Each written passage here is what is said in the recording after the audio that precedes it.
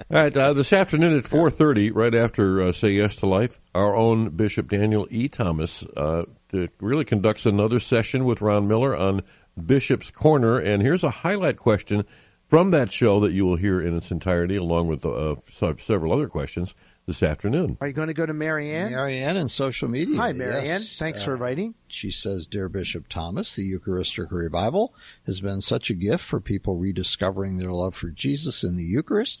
I recently went to a very well attended viewing of Jesus Thirsts, the miracle of the Eucharist. What have you witnessed across our diocese since the revival began? Thanks, Marianne. So thanks, Marianne. And just to share, uh, you, I'm delighted that you went to a viewing of Jesus Thirsts, the miracle of the Eucharist.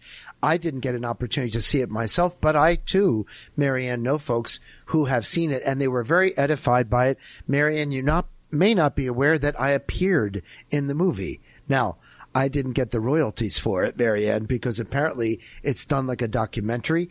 And there is some moment where I don't know what they were at. There were a group of bishops and there I was. So someone told me they turned to the person next to them to say, there's Bishop Thomas. And when they turned back, it was a blip. It was just a second and I was gone. So I guess Marianne, my claim for fame is fleeting, but how I'm delighted that I was in the movie to support our Lord in the Eucharist and to indicate that the Eucharistic revival has in fact caught on.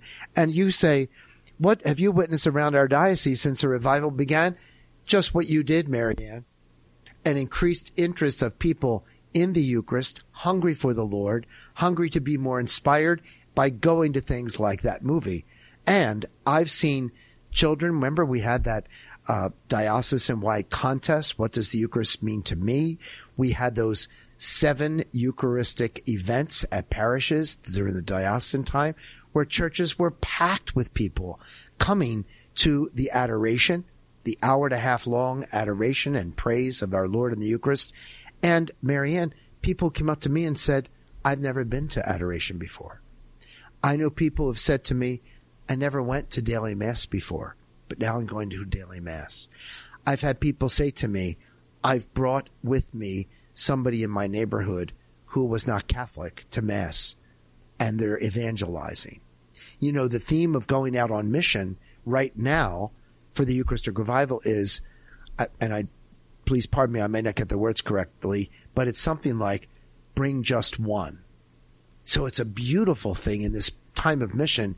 Just bring one person. Maybe it's a Catholic who you know has, for one reason or another, fallen away from the practice of the faith from going to Mass on Sunday.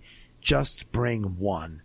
Imagine if every Catholic in our diocese or in the United States just brought one person back to the Eucharist. Imagine that evangelization effort. What a blessing that would be. So these are some of the things I've seen and some of the things I would encourage Marianne. And I do believe that it's, it's a revival that's both happening and just waiting to happen. All right. Thank, Thank you, Bishop. You. Thanks for that question, Marianne. Yeah, it's a great question. And uh, of course, more questions are uh, all set for this afternoon's Bishop's Corner. Hopefully, you can, uh, you're going to stay tuned for that.